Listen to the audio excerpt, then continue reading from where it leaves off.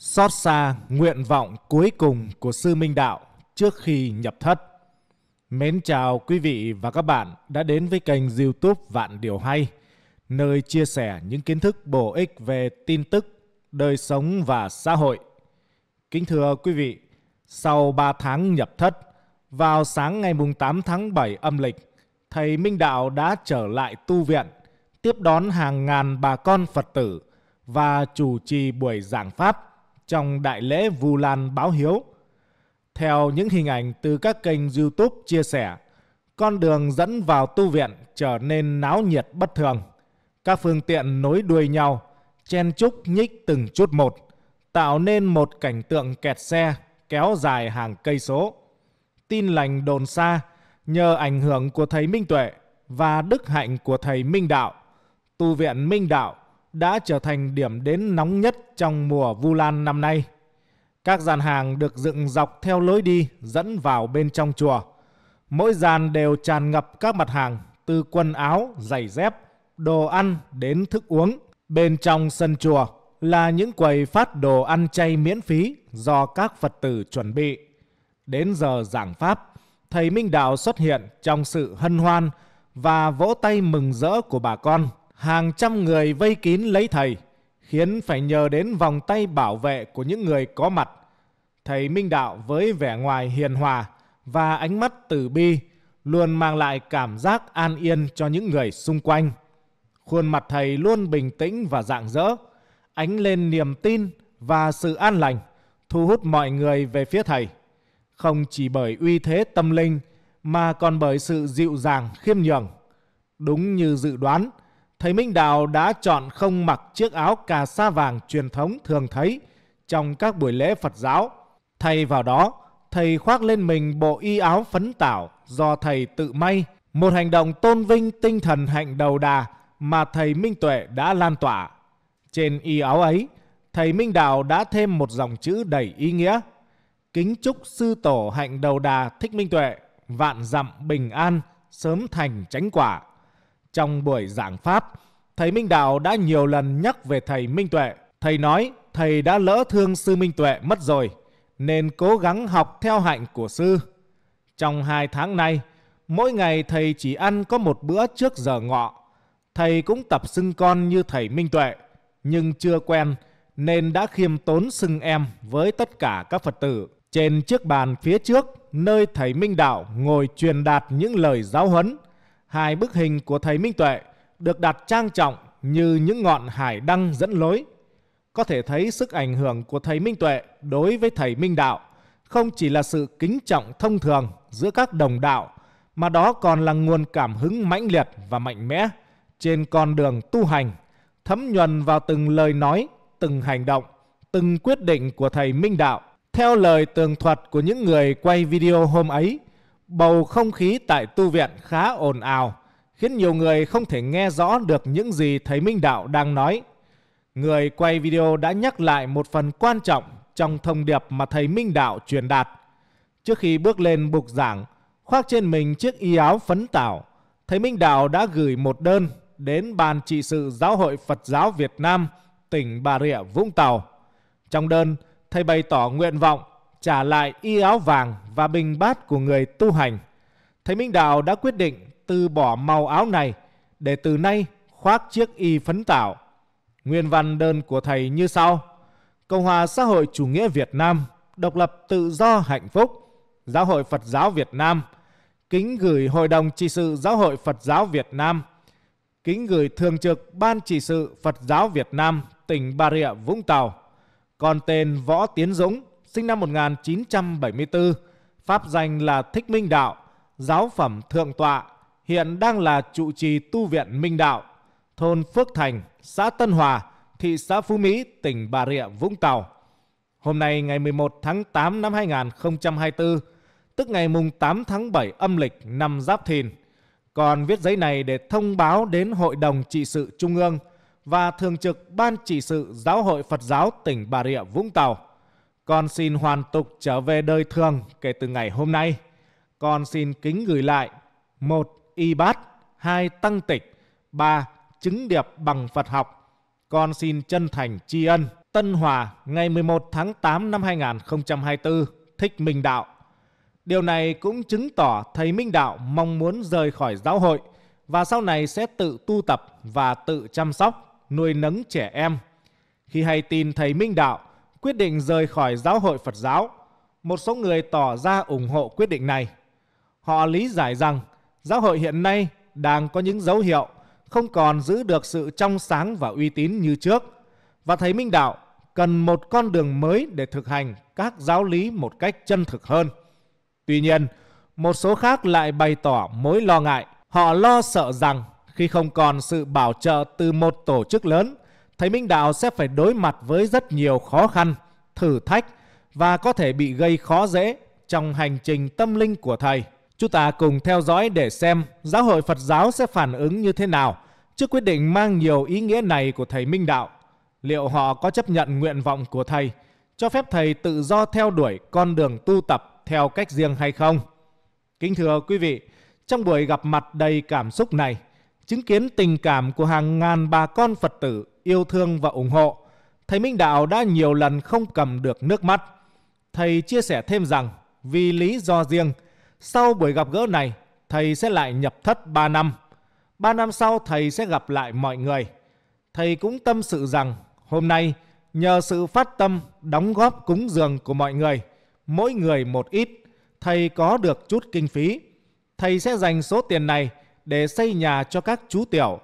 Thầy dự định xây 20 căn nhà để sau này nếu thầy có gặp nạn gì thì các em còn có nơi để ở. Thầy mong muốn sau khi thực hiện được tâm nguyện này, thầy sẽ rời khỏi chùa. Thầy và các chú tiểu coi đó như là một sự tái hiện lại lời dạy của Đức Phật. Hôm nay, nhờ sự yêu thương của mọi người mà thầy đã nhận được số tiền đóng góp. Thầy sẽ dùng số tiền này để xây nhà cho các chú tiểu, chia hết cho 50 đứa nhỏ. Tạm thời thì thầy sẽ làm 20 căn nhà trước. Nếu sau này thầy không có sức khỏe nữa, thì các em vẫn còn có nơi để ở. Tuy nhiên, có một đơn vị đã hứa tài trợ, nhưng rồi lại không thực hiện. Cuối cùng, đơn vị này đã rút lui. Nhưng thầy vẫn mong rằng sẽ hoàn thành được 20 căn nhà này cho các chú tiểu. Sau buổi giảng Pháp, Thầy Minh Đạo đã thực hiện phát lộc gieo duyên cho các Phật tử đến tham dự. Việc phát lộc cho Phật tử thể hiện sự gieo duyên tốt lành, mong rằng mọi người sẽ nhận được phước lành, sức khỏe và thành công trong cuộc sống. Đây cũng là một cách để thầy bày tỏ lòng từ bi và sự sẻ chia với cộng đồng. Khi nhận được lộc từ thầy, Phật tử cảm thấy mình được kết nối mật thiết hơn với thầy và với nhau, qua đó tăng cường sự đoàn kết trong cộng đồng Phật giáo. Kính thưa quý vị, mới đây ngày 19 tháng 6, thầy Thích Minh Đạo đã có một động thái đáng chú ý khi bày tỏ sự ngưỡng mộ và tôn kính đối với thầy Thích Minh Tuệ, bất chấp những kỷ luật từ giáo hội. Điều này được thể hiện rõ ràng trong video mới nhất mà thầy Minh Đạo đăng tải trên Facebook của tu viện. Trong video này, tấm ảnh của thầy Minh Tuệ với nụ cười hiền hòa được treo trang trọng phía sau, làm nổi bật lòng kính trọng và tình cảm sâu sắc giữa hai thầy. Hiện tại thầy Minh Đạo đang nhập thất, còn thầy Minh Tuệ đang ẩn tu. Nhưng lòng kính trọng và tình cảm giữa họ vẫn luôn được thể hiện mạnh mẽ. Trong thời gian gần đây, thầy Thích Minh Đạo và tu viện của thầy nhận được sự chú ý rộng rãi từ cộng đồng Phật tử cũng như cộng đồng mạng trong và ngoài nước. Điều này chủ yếu xuất phát từ câu chuyện về thầy Minh Tuệ, một vị sư với hành trình tu tập khổ hạnh và kiên trì theo đuổi hạnh đầu đà thầy Minh Đạo đã công khai bày tỏ sự ngưỡng mộ và ủng hộ dành cho hạnh đầu đà của sư Minh Tuệ, một hành động thể hiện lòng tôn kính và sự kính trọng đối với những giá trị cao đẹp của việc tu hành khổ hạnh. Tuy nhiên, sự công khai ủng hộ này của thầy Minh Đạo khi thầy vẫn còn đang trong giáo hội dẫn đến việc thầy phải đối mặt với kỷ luật và kiểm điểm từ phía giáo hội. Trong bức thư được cho là của sư Thích Minh Đạo gửi Giáo hội Phật giáo Việt Nam tỉnh Bà Rịa Vũng Tàu, Sư Thích Minh Đạo cho biết, mọi sự bắt đầu từ lời phát biểu của ông trong video về Sư Thích Minh Tuệ. Đại diện giáo hội tán thán hạnh đầu đà của Sư Minh Tuệ. Ban trị sự sau đó kết luận rằng việc Sư Thích Minh Đạo nhận xét về ông Lê Anh Tú là quyền suy nghĩ của từng cá nhân, nhưng Sư Minh Đạo sai ở chỗ dùng từ chưa đúng với chức năng quyền hạn của mình, dẫn đến sự ngộ nhận từ nhiều nơi. Lời chia sẻ của Thầy Minh Đạo có nhắc đến ước mơ dành cho sư Minh Tuệ như sau. Quý vị Phật tử gần xa thân mến, mấy hôm nay sư ẩn danh không có về tu viện để chăm sóc các em mà điều phối từ xa, cho nên rất biết ơn sự quan tâm của Phật tử gần xa vì sự mến thương đối với sư cũng như các em ở trong tu viện. Các vị từ Hà Nội, miền Trung, miền Bắc, rồi miền Tây và miền Đông Nam Bộ, các Phật tử xa gần đều cùng nhau về tu viện để ít nhiều chăm sóc cho các em của sư phụ trong thời gian này. Thực sự, sư rất biết ơn. Thời gian tịnh tâm của sư vẫn còn dài. Dự kiến vào ngày 8 tháng 7 âm lịch, tức là ngày 11 tháng 8 dương lịch 2024, sư sẽ trở về tu viện để tổ chức lễ Vu Lan. Sư sẽ thăm viếng các Phật tử và có một bài pháp thoại dành cho quý Phật tử về chủ đề tình mẹ để đáp ứng nguyện vọng của Phật tử muốn gặp được sư. Thời lượng khoảng 1 tiếng đồng hồ, từ 9 giờ sáng đến 10 giờ sáng và mỗi chiều từ 2 giờ 30 đến 3 giờ 30 chiều. Sư sẽ tiếp Phật tử trong hai thời pháp trên. Sư nhắc lại, ngày mùng 8 tháng 7 âm lịch năm Giáp Thìn, tức là ngày 11 tháng 8 dương lịch năm 2024, Sư sẽ về tu viện tổ chức lễ Vu Lan định kỳ hàng năm của tu viện. Nhân đây, Sư cũng thay lời cho các em trong tu viện gửi lời biết ơn đến tất cả quý Phật tử gần xa đã quan tâm đến tu viện và cũng có lời kính mời quý Phật tử xa gần. Nếu hữu duyên, xin hãy quay về với tu viện để cùng sư dự một buổi lễ Vu Lan tại chùa của sư. Nếu Phật tử hoan hỷ nhận lời mời của sư, thì xin liên hệ với đệ tử của sư để đăng ký danh sách số lượng Phật tử về tham dự. Điều này sẽ giúp tu viện chuẩn bị một bữa ngọ trưa với cơm canh, trái cây, bánh đạm bạc để quý Phật tử có khoảnh khắc quây quần bên tu viện cùng với quý sư dùng một bữa cơm nhân mùa vu lan báo hiếu. Sư cũng rất hoan hỷ nếu được Phật tử quây quần về tu viện để sư có đủ duyên chia sẻ pháp thoại với Phật tử xa gần. Trong suốt thời gian tĩnh tâm, sư không có đủ điều kiện để tiếp xúc với Phật tử và sau cùng xin gửi lời tri ân đến quý Phật tử trong thời gian này đã về tu viện góp phần cho tu viện. Xin trân trọng biết ơn và thương chúc tất cả quý Phật tử thân tâm thường lạc trong cuộc sống, đầy ắp tiếng cười, hạnh phúc và đủ nghị lực để vượt qua những nỗi đau. Xin nói thêm một điều nữa là những chứng nguyện trong cuộc đời tu học của mình và của tất cả mọi người xung quanh trên lĩnh vực tu hành. Nói một cách khác, mỗi người trong chúng ta khi sinh ra cho đến lúc rời khỏi cuộc đời này, ai cũng phải chấp nhận mọi sự thử thách. Mọi sự thử thách, chứng duyên nghịch cảnh trong cuộc đời của chúng ta. Hãy xem nó như một bài học, và một bài học cũng giúp chúng ta trưởng thành và lớn lên, nhất là trong lĩnh vực bị vu oan, vu khống, xúc phạm danh dự và khinh ghét, ghét bỏ. Đó là một trong những thử thách lớn trong cuộc đời. Nó cho chúng ta thấy được cái vọng tâm của mình và cái cường độ sân hận của mình đi đến giai đoạn nào. Nếu như chúng ta có thể bình thản trước những sóng gió cuộc đời, chấp nhận và lắng nghe, cũng như biết tĩnh tâm, biết hóa giải những sóng gió và những sóng gió đó không đủ điều kiện để triệt tiêu năng lượng an lạc của mình, thì đó chứng tỏ đời tu của mình cũng có ý nghĩa và mục đích.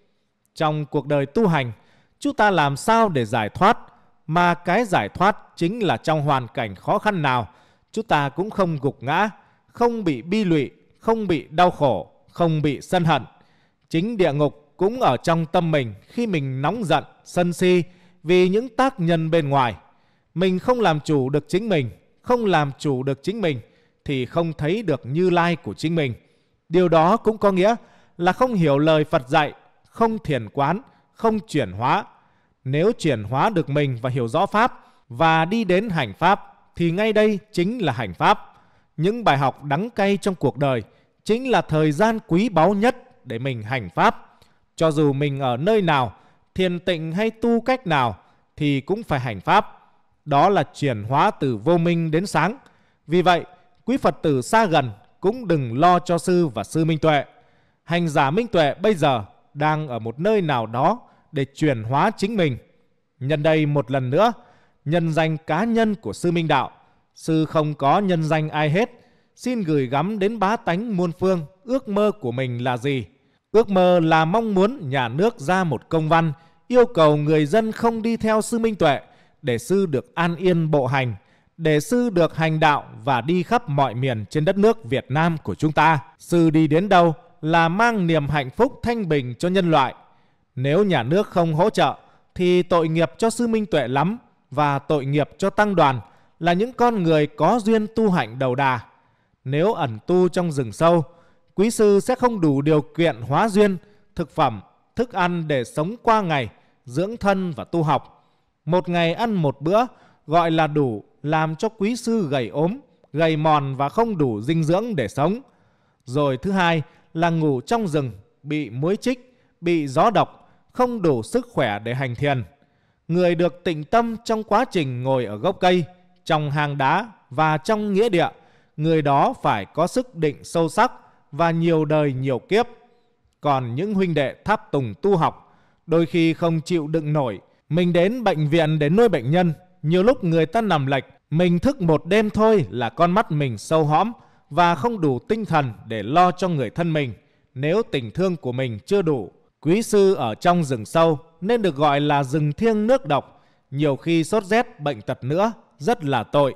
Nếu quý sư phải xuống làng để hóa diên, sự tò mò của bá tánh lại tiếp tục chạy theo quý sư, gây ách tắc giao thông, cản trở sự sinh hoạt bình thường của xã hội.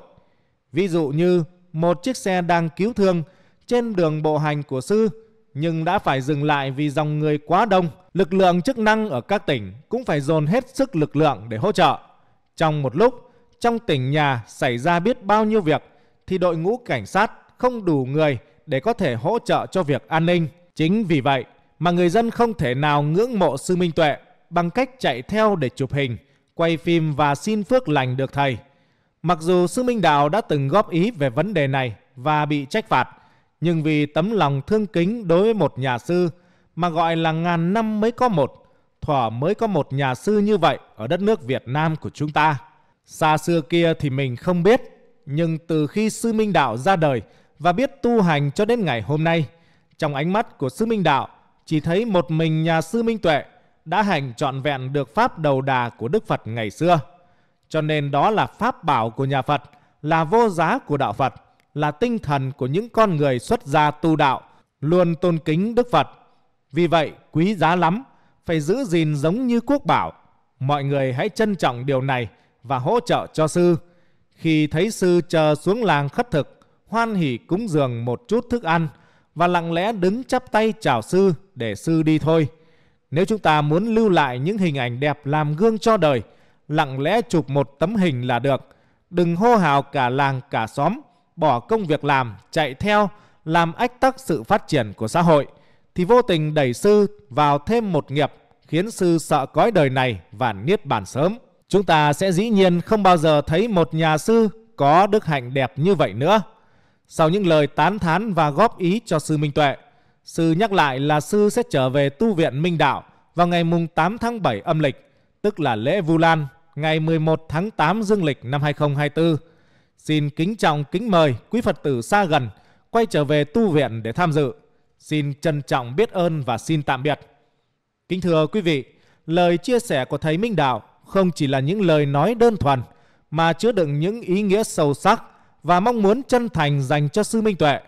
Thầy Minh Đạo đã nhận thấy và cảm nhận được sự đặc biệt và đức hạnh trên con đường tu hành của Sư Minh Tuệ. Đây không chỉ là sự công nhận mà còn là sự khẳng định giá trị và ý nghĩa của hạnh đầu đà mà Sư Minh Tuệ đang theo đuổi.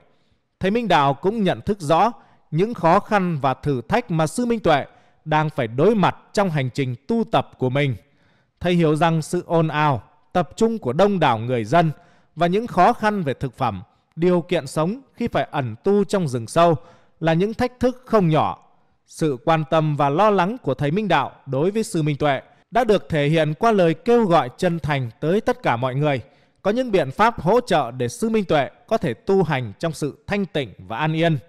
Trong lời chia sẻ của thầy Minh Đạo, chúng ta có thể cảm nhận được sự kiên định và lòng từ bi của thầy. Thầy không chỉ lo lắng cho sư Minh Tuệ mà còn mong muốn bảo vệ và duy trì những giá trị cao quý của Phật giáo. Kính thưa quý vị, thầy Minh Đạo đã mắc căn bệnh tiểu đường nhiều năm nay nên thầy không còn thường xuyên đến chùa nữa. Tuy nhiên hai tháng nay vì mến hạnh tu của thầy Minh Tuệ nên thầy chỉ ăn một ngày một bữa trước giờ ngọ, bất chấp đường huyết có lên xuống thất thường, vì thầy muốn tôn kính sư ấy một cách thật lòng.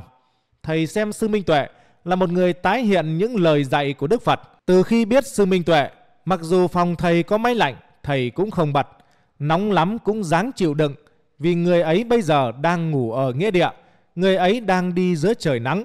Và những khi mưa, thầy ấy cũng bật dậy ngồi, chứ không dám nằm, vì mình thấy mình sướng như thế này, trong khi sư ấy đang phải chịu biết bao sự khắc nghiệt. Thầy cũng không hiểu sao, lại có những người không chấp nhận sư minh tuệ, một người mà con kiến cũng không làm hại mà lại bị bỏ rơi. Riêng thầy, thầy thấy không nên làm như vậy. Thầy không muốn mình trở thành người có tội với giáo hội, vì chúng ta là những đứa con ngoan của giáo hội. Giáo hội thương yêu lắm, mới dạy dỗ và cho mình cơ hội để tu tập như ngày hôm nay. Vì vậy, thầy không muốn làm tổn thương giáo hội và muốn gửi lại tất cả những gì giáo hội đã cho để trở thành người cư sĩ đúng nghĩa. Thầy đã hiểu rõ con đường mình đi sau hơn 30 năm làm người tu sĩ. Sau buổi gặp mặt thân mật cùng các Phật tử vào ngày mùng 9 tháng 7, Sư Minh Đạo chính thức nhập thất 3 năm. Trong thời gian này, thầy sẽ tập trung vào việc tu tập và tự giác ngộ bản thân. Dù vậy, thầy Minh Đạo sẽ quay trở về chùa trong những dịp lễ lớn hàng năm để gặp gỡ và chia sẻ với các Phật tử. Mặc dù thầy Minh Đạo đã nhập thất, lượng Phật tử đến tu viện Minh Đạo vào ngày mùng 9 tháng 7 vẫn không hề giảm sút. Tình trạng kẹt xe kéo dài trên con đường dẫn vào tu viện cho thấy sức hút của thầy vẫn rất lớn. Các Phật tử từ khắp nơi đổ về với tấm lòng thành kính, mang theo những món quà cúng dường để chia sẻ cùng tu viện. Những tấm lòng thiện nguyện này là biểu hiện của tình cảm sâu sắc mà các Phật tử dành cho thầy Minh Đạo, cũng như sự tin tưởng vào con đường tu hành của thầy. Ngày thầy Minh Đạo trở về chùa cũng là dịp mà mấy trăm phần quà từ các mạnh thường quân được phân phát cho những bà con có hoàn cảnh khó khăn. Những món quà này không chỉ là sự hỗ trợ về mặt vật chất mà còn là biểu hiện của lòng từ bi và sự đoàn kết cộng đồng, mang lại niềm hy vọng và an ủi cho những người đang cần sự giúp đỡ. Hình ảnh những Phật tử không ngại đường xá xa xôi, tìm đến tu viện để được góp phần nhỏ bé của mình vào công tác thiện nguyện, khiến ai chứng kiến cũng cảm thấy ấm lòng. Đây thực sự là một minh chứng sống động cho sức mạnh của tình người và tinh thần nhân ái. Thầy Minh Đạo vô cùng xúc động trước tình cảm to lớn mà quý Phật tử đã dành cho thầy trong suốt thời gian qua. Thầy chia sẻ rằng đây là năm mà thầy chứng kiến số lượng Phật tử về tu viện đông đảo nhất trong mấy chục năm tu hành của thầy. Thưa quý vị, thầy Minh Tuệ của chúng ta không có chùa, thầy chỉ có gốc cây ở nghĩa địa, cho nên tình cảm và sự ngưỡng mộ của hàng triệu Phật tử dành cho thầy Minh Tuệ đã được truyền tải và gửi gắm qua thầy Minh Đạo. Thầy Minh Đạo cũng đã xuất sắc kế thừa tinh thần của thầy Minh Tuệ, truyền lại trở thành một bậc đại dũng bản lĩnh, một sự tôn nghiêm trong lòng các Phật tử.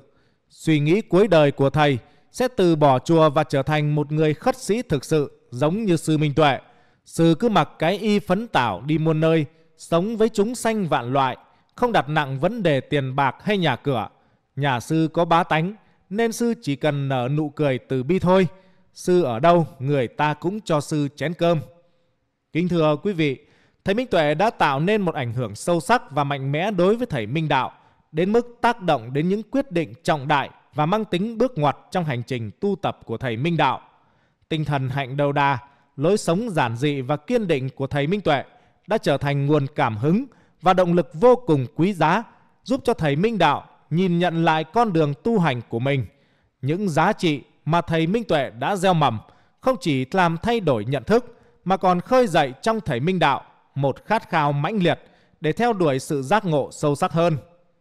Kính thưa quý vị, những ngày qua, sau khi nghe tin thầy Minh Đạo quyết định từ bỏ tất cả các chức vụ trong giáo hội Phật giáo, đồng thời gửi đơn xin hoàn tục để trở thành cư sĩ tự do như thầy Minh Tuệ và nhập thất tận 3 năm, nhiều người không khỏi lo lắng và thắc mắc về tương lai của tu viện Minh Đạo. Liệu tu viện sẽ bị trả lại cho giáo hội hay không? Ai sẽ đảm nhận vai trò quản lý và lãnh đạo nơi này? Số phận của những em nhỏ đang được nuôi dưỡng và chăm sóc tại chùa sẽ ra sao khi thầy Minh Đạo không còn giữ được vai trò lãnh đạo chính thức? Những câu hỏi này đang là nỗi chăn trở trong lòng của nhiều Phật tử, những người luôn yêu mến và kính trọng thầy Minh Đạo. Thì mới đây, chương trình đã nhận được một thông tin rất vui. Đó là trên trang cá nhân của luật sư Nguyễn Văn Hòa. Ông đã có chuyến thăm tu viện vào ngày 13 tháng 8. Ông chia sẻ lại trên Facebook của mình như sau. Sáng nay ngày 13 tháng 8 năm 2024, tôi có vào tu viện Minh Đạo, lễ Phật nhân tiết Vu Lan, mới 8 giờ 30 sáng, mà đã có rất nhiều xe du lịch loại 54 chỗ và 16 chỗ chờ bà con Phật tử từ các tỉnh thành về đây đảnh lễ Phật. Tôi không gặp được thầy Minh Đạo vì thầy đã ẩn tu, nhưng gặp chúng tăng đệ tử của thầy thì được biết đúng là thầy đã trả lại tất cả những gì liên quan đến giáo hội Phật giáo để trở thành một tu sĩ tự do như thầy Thích Minh Tuệ. Thầy không còn là nhân sự của giáo hội Phật giáo Việt Nam nữa, còn tu viện Minh Đạo là của riêng cá nhân của thầy, không phải là tài sản của giáo hội Phật giáo. Đất thầy mua, tu viện thầy xây dựng lên và thầy đặt tên là Minh Đạo. Thầy đã được chính quyền huyện Tân Thành, nay là thị xã Phú Mỹ, cấp sổ hồng quyền sử dụng đất và quyền sở hữu tài sản gắn liền với đất. Tu viện Minh Đạo vẫn hoạt động như một cơ sở tôn giáo cá nhân.